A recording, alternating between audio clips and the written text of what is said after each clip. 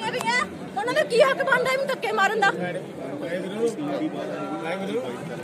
ਅੱਜ ਤੋਂ ਨਾ ਆਇਆ ਤੇ ਸੰਗਤ ਦੇਖਦੇ ਮੰਗਾ ਤੁਸੀਂ ਹੋ ਗਏ ਯਾਰ ਗੁਰੂ ਨਾਨਕ ਤੋਂ ਵੱਡਾ ਹੋ ਗਿਆ। ਅਸੀਂ ਤੁਹਾਡੇ ਵਾਂਗੂ ਸੰਗਤ ਨਾਨਕ ਤੋਂ ਵੱਡਾ ਹੋ ਗਿਆ ਮੈਨੂੰ ਸਮਝ ਨਹੀਂ ਆਉਂਦਾ। ਇੰਨਾ ਇੰਨਾ ਕੀ ਹੋ ਗਿਆ ਵੱਡਾ ਉਹ? ਗੁੱਸੇ ਗੁੱਸੇ ਦੇ ਕਾਰਨ ਤਾਂ ਨਹੀਂ ਦਿਖਦਾ ਥੋੜਾ ਕਰੋਜ਼ ਨਾ ਪਾਲੋ ਨਹੀਂ ਕ੍ਰੋਧ ਮੇਰਾ ਤਾਂ ਹੀ ਨਾ- ਤਾਂ ਮੈਂ ਸਿਰਫ ਉਹਦੇ ਕਰਕੇ ਨਹੀਂ ਆਪਾਂ ਗੁਰੂ ਕਿੱਥੇ ਬੋਲਣੇ ਆ? ਉਹਦੇ ਕਰਕੇ ਆਪਾਂ ਕਿੱਥੇ ਖਲੋ ਕੇ ਮੈਂ ਬੋਲਣਾ ਤਾਂ ਪਰਾ? ਉਹਨੂੰ ਮੂੰਹ ਨਾ ਲਾਵਾਂ। ਉੱਚੀ ਬੋਲ ਮੈਂ ਨਹੀਂ ਦੱਸ ਸਕਦੇ ਮੈਨੂੰ- ਪਹਿਲਾਂ ਆਪਾਂ ਉੱਚੀ ਮੇਰੇ ਮੇਰਾ ਮੈਨੂੰ ਮਹਾਰਾਜ ਦੱਸ ਮੈਨੂੰ ਪਤਾ। ਉੱਚੀ ਗੱਲ ਨਹੀਂ ਕਰ ਸਕਦੇ ਮੈਂ ਕਰਿਓ, ਕਿੱਥੇ ਮੈਨੂੰ ਪਤਾ। ਬੋਲਣ ਦੇ? ਥੋੜਾ ਸ਼ਾਂਤ ਕੇ ਮੈਨੂੰ ਸਾਨੂੰ ਹੋਰ ਨਾ ਪਤਾ ਕਹਿ ਪਰ ਤੁਸੀਂ ਕੋਈ ਬੋਲਿਆ ਨਹੀਂ ਮੈਨੂੰ ਬੜਾ ਸੀਨੀਅਰ ਨੂੰ ਗੁੱਸਾ ਜਾ ਕੇ ਆਇਆ। ਕਹਿ ਦਿਓ ਸੀਨੀਅਰ ਨੂੰ ਕਹਿ ਦਿਓ। ਸੀਨੀਅਰ ਉੱਥੇ ਜਾ ਕੇ ਉੱਥੇ ਨਾ ਬੋਲੋ ਕਾਲ ਤੱਕ ਸਾਹਿਬ ਤੇ ਚੱਲ ਜਾਓ। ਉੱਥੇ ਨਾ ਸੁਣਨਗੇ ਤੁਹਾਡੀ। ਜੇ ਤੁਸੀਂ ਸੁਣਦੇ ਮੇਰੇ ਨਾਲ ਚਲੋ। ਉਹਨਾਂ ਨੂੰ ਨਹੀਂ ਦਿਖਦਾ ਉਹ। ਅੰਨੇ ਹੋ ਗਏ। ਆ ਤੇ ਉਹਨਾਂ ਨੂੰ ਕੀ ਉਹ? ਹੋ ਗਏ, ਅਸੀਂ ਥੋੜ੍ਹਾ ਹੋ ਗਏ। ਉਹ ਤਾਂ ਵੈਸੇ ਵੀ ਕੀ ਹੋਏ ਆ? ਮੈਂ ਤਾਂ ਮੂੰਹ ਤੇ ਕਹਿੰਨੀ ਆ।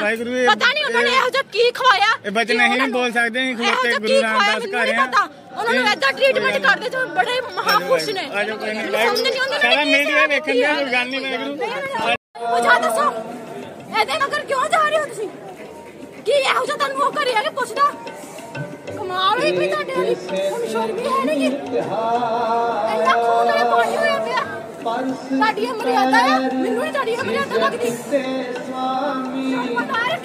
ਬੰਦਾ ਤੇ ਆਇਆ 2 ਮਿੰਟ ਲਈ ਉਹਦੇ ਵਿੱਚ ਸਾਰੇ ਸੰਗਤ ਤੁਰੀ ਫਿਰਦੀ ਕਿਉਂ ਕੀ ਗੱਲ ਬਈ? ਸ਼ਰਮ ਨਹੀਂ ਹੁੰਦੀ ਇਹਨਾਂ ਨੂੰ? ਤੁਸੀਂ ਮਹਾਰਾਜ ਦੇ ਘਰੇ ਆਏ ਹੋ। ਪਿੱਛੇ ਦਾ ਪਿੱਛੇ ਦਾ ਪਿੱਛੇ ਦਾ ਬਹੁਤ ਪਿੱਛੇ ਤੁਸੀਂ ਕਿ ਸਾਰੇ ਨੂੰ ਕੱਟ ਕਰਦੇ ਫਿਰਦੇ ਹੋ। ਹੁਣ ਤੁਹਾਡੇ ਪਰਚੀਆਂ ਨੇ ਕਿੱਥੇ ਨੇ? ਮੈਨੂੰ ਇਹ ਦੱਸੋ। ਮੈਨੂੰ ਇਹ ਸਮਝ ਨਹੀਂ ਆਉਂਦੀ। ਹੁਣ ਸੇਵਾਦਾਰ ਕਿੱਥੇ ਆ? ਹੁਣ ਨਹੀਂ ਦਿਖਦਾ। ਹੁਣ ਦਿਖਦਾ ਨਹੀਂ ਇਹਨਾਂ ਨੂੰ। ਨਹੀਂ, ਮੈਨੂੰ ਸਮਝ ਨਹੀਂ ਆਉਂਦੀ। ਸਾਡੇ ਗੁਰਸਿੱਖ ਗਏ ਕਿੱਥੇ ਆ? ਉਹਨਾਂ ਨੂੰ ਸ਼ਰਮ ਆਉਂਦੀ ਮਾੜੀ ਮੋਟੀ ਜਥੇਬੰਦੀਆਂ ਨੂੰ ਹੋਣੀ ਚਾਹੀਦੀ ਹੈ। ਸਪੈਸ਼ਲ ਟ੍ਰੀਟ ਕਰ ਰਹੇ ਉਹਨੂੰ। ਉਹ ਜਿਹਾ ਕੀ ਹੈ ਸਪੈਸ਼ਲ ਹੋਊਗਾ, ਆਪਦਾ ਬਾਹਰ ਹੋਊਗਾ ਵੱਡੇ ਪੱਧਰ ਤੇ। ਆਪਦਾ ਬਾਹਰ ਜਾ ਕੇ ਜੋ ਮਰਜ਼ੀ ਕਰੇ, ਗੁਰੂ ਘਰ ਬੰਦਾ ਸਿੰਪਲ ਆਵੇ।